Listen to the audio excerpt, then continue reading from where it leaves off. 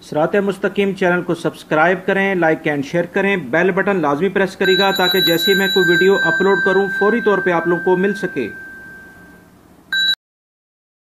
السلام علیکم۔ دوستو، کیسے آپ لوگ؟ دوستو، آج کی تازہ ترین خبریں میں آپ سے شیئر کرنا چاہتا ہوں، جس میں سب سے پہلی خبر جوازات سے متعلق ہے، جس میں جوازات نے واضح طور پہ اعلان کیا ہے کہ فائنل ایگزٹ جانے والے افراد جب وہ فائنل ایگزٹ جاتے ہیں تو ان کا اقامہ آٹومیٹکلی ایکسپائر ہو جاتا ہے۔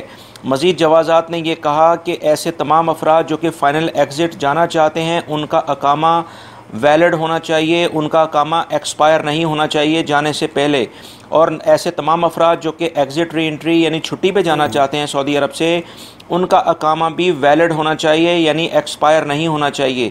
دوستو، ایسی تمام خبریں جو کہ سوشل میڈیا پہ چل رہی تھی، جس کے اندر یہ کہا جا رہا تھا کہ فائنل ایگزٹ اگر اقامہ ختم ہو تو پھر بھی لگ جاتا ہے یا چھٹی لگ جاتی ہے، تو یہ سراسر غلط ہیں۔ ایسی تمام خبریں بے بنیاد ہیں اور جوازات نے واضح طور پہ کہا ہے کہ اقامہ صرف اور صرف اسی وقت ایکسپائر ہوتا ہے جب آپ ایگزٹ پر جاتے ہیں۔ اس کے بعد آٹومیٹکلی ایکسپائر ہو جاتا ہے اور ایکسپائر اقامے کے ساتھ یعنی اقامہ اگر ختم ہے تو نہ ہی فائنل ایگزٹ لگتا ہے اور نہ ہی ایگزٹ ری انٹری ویزا یعنی چھٹی لگتی ہے۔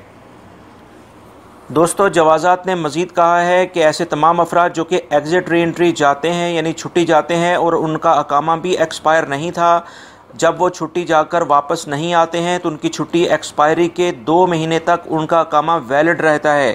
یعنی اپنے وہ کفیل اپنی کمپنی سے وہ کانٹیکٹ کر سکتے ہیں کہ کس وجہ سے ان کی چھٹی سے وہ واپس نہیں آ سکے۔ تو اسی ویزے پر وہ ایک خاص پروسیجر ہے جس کے جس کی آلریڈی میں اپنی ویڈیو میں ایک ویڈیو بنا چکا ہوں۔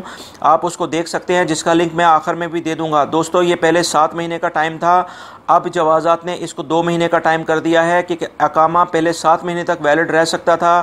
اب وہ دو مہینے تک ویلڈ ہوگا۔ دو مہینے کے اندر اندر اگر اسی ویزے پہ کوئی شخص آنا چاہتا ہے، اس کی کمپنی، اس کا کفیل ایگری ہے تو وہ آ سکتا ہے۔ اس بارے میں میں اس آخر میں میری اس ویڈیو کے اسی ویڈیو کا لنک آئے گا کہ وہ کیسے آ سکتا ہے۔ آپ اس ویڈیو کو دیکھ کر اگر کوئی آنا چاہتا ہے اسی ویڈیو اسی ویزے پر جو کہ چھٹی کی وجہ سے، کسی وجہ سے وہ نہیں آ پایا تو وہ اپنے کفیل، اپنی کمپنی سے کانٹیکٹ کر سکتا ہے۔ آپ میری اس ویڈیو سے گائیڈنس لے سکتے ہیں۔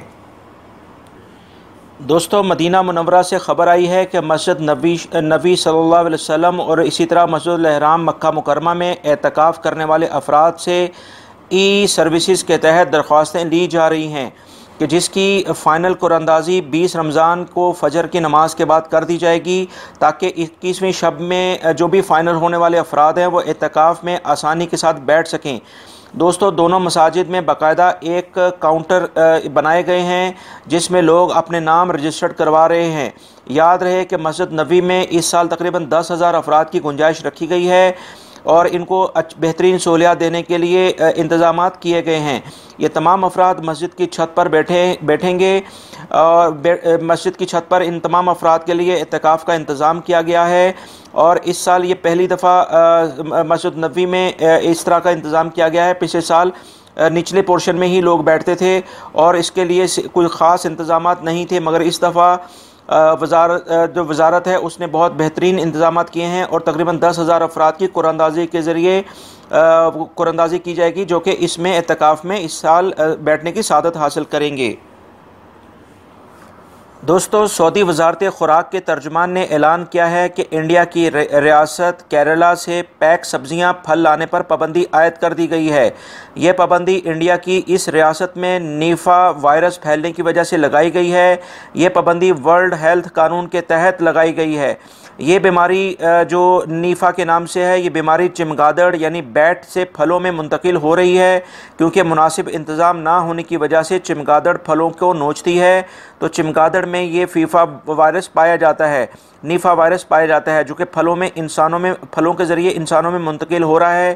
دوستو، کچھ دن پہلے میں نے باقاعدہ اس کے اوپر ایک نیوز شیئر کی تھی، جس میں میں نے آپ کو بتایا تھا کہ سعودی جو سفارت خانہ ہے انڈیا میں، اس نے تمام سعودی عرب سے آنے والے افراد کو خبردار کیا ہے کہ کیرلا کی ریاست کے اندر یہ وائرس کافی زیادہ پھیلا ہوا ہے اور ہاسپٹلس میں کافی مریض لائے گئے ہیں۔ لہٰذا ایسے تمام افراد جو کہ سعودی عرب سے آتے ہیں یا سعودی عرب آنا چاہتے ہیں، وہ ان ریاستوں میں، اس کیرلا کی ریاستوں کے کچھ مخصوص علاقے تھے، وہاں پر وہ سفر نہ کریں۔ یہ آلریڈی میں کو تقریباً ایک ہفتے پہلے یہ ویڈیو یہ نیوز آپ سے شیئر کر چکا ہوں۔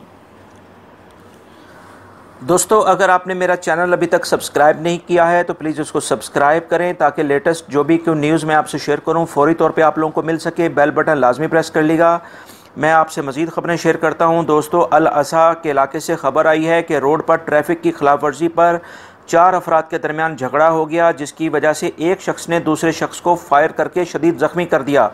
یہ افراد بیس سے تیس سال کی عمر سال کے درمیان کی درمیانی عمر کے تھے۔ مشرقی ریجن پولیس کے ترجمان نے مزید بتایا ہے کہ الحسا میں چار افراد آپس میں گاڑیوں کو ٹکرانے کی وجہ سے جھگڑ پڑے۔ ان میں سے ایک نے باقاعدہ تیش میں آ کر فائرنگ کر دی، جس سے ایک شخص شدید زخمی ہو گیا۔ پولیس نے تمام افراد کو شناخت کر کے گرفتار کر لیا ہے اور ان کے قبضے سے پیسٹول بھی برآمد کر لیا ہے۔ مزید کارروائی کے لیے ان تمام افراد کو متعلقہ ادارے کے حوالے کر دیا گیا ہے۔ دوستو، محکمہ ٹریفک نے واضح طور پہ اعلان کیا ہے کہ مملکت میں خواتین ڈرائیور کو کسی بھی قسم کی ٹریفک قوانین میں چھوٹ یعنی ریلیکسیشن نہیں دی گئی ہے۔ وہ تمام جرمانے قوانین جو مرد ڈرائیوروں پر لاگو ہوتے ہیں، وہ تمام کے تمام خواتین ڈرائیور پر بھی لاگو ہوں گے۔ سوشل میڈیا پر چلنے والی ایسی تمام خبریں بے بنیاد ہیں کہ جس میں کہا جا رہا ہے کہ خواتین کو کچھ رعایت دی گئی ہے یا دی جائے گی۔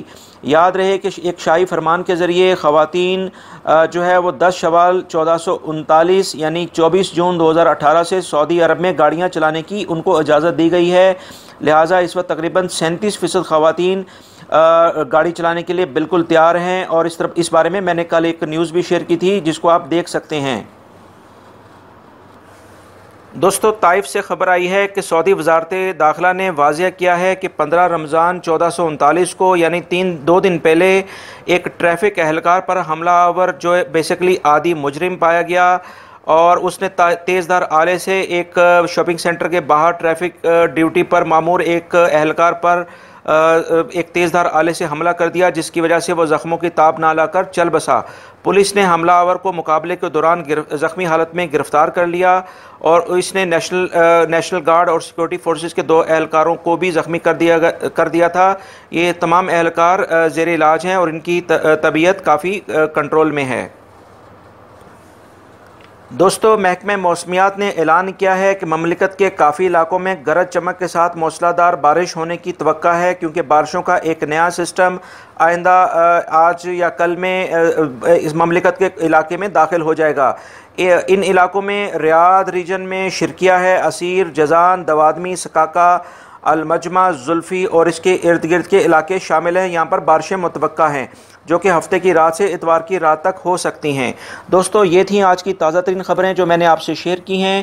اگر آپ نئے ویور ہیں میرے چینل کو دیکھنے والے، تو پلیز میرے چینل کو سبسکرائب کرے گا۔ اور اگر آپ پرانے سبسکرائبر ہیں، تو پلیز آپ چیک کر لیں کہ آپ نے کیا بیل بٹن پریس کیا تھا۔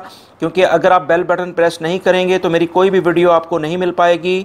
فوری طور پہ نہیں مل پائے گی۔ ویڈیو دیکھنے کا بہت بہت شکریہ۔ اپنا بہت سارا خیال رکھیے گا۔ السلام علیکم۔